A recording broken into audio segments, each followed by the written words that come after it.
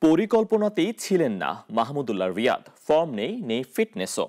এমন অনেক কটু কথাও শুনতে হয়েছে তাকে। বিশ্বকাপে সেই রিয়াদই বাংলাদেশের সফলতম ব্যাটার। সাউথ আফ্রিকার বিপক্ষে লড়াকু এক সেঞ্চুরি করে বুঝিয়ে দিলেন অভিজ্ঞদের উপেক্ষা করা। মোটেই বিবেচকের কাজ নয়।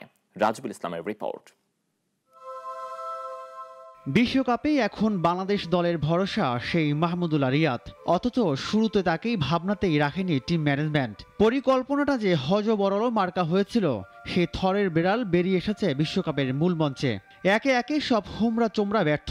কেবল আলো ছড়িয়ে যাচ্ছেন অলরাউন্ডার রিয়াদ। দলের দুঃসময়ের কাণ্ডারি হয়ে ওঠার ক্ষমতা বারবার দেখিয়েছেন মাহমুদুল্লাহ।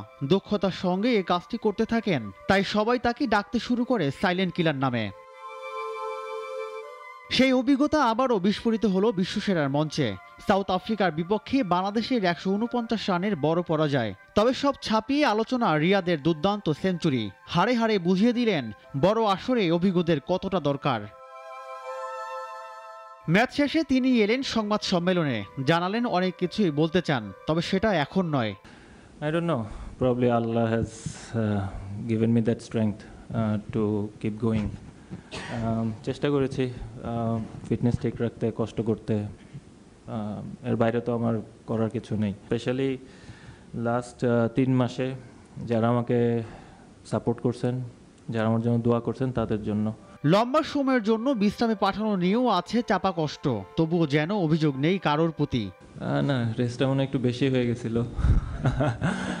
বাট আলহামদুলিল্লাহ এটা তো আমার কন্ট্রোলে কিছু নাই।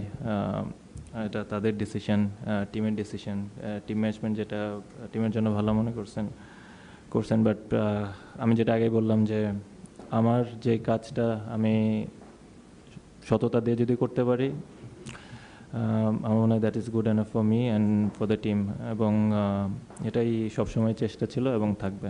পাঁচ ম্যাচের চারটিতেই হার। পয়েন্ট টেবিলের তলানিতে বাংলাদেশ। সম্বল বলতে সেই আফগানদের বিপক্ষে জয়। টাইগার ম্যানেজমেন্টের সেমিফাইনাল খেলার লক্ষ্য এখন দূর আকাশের তারা। রাজিবুল ইসলাম নাগরিক।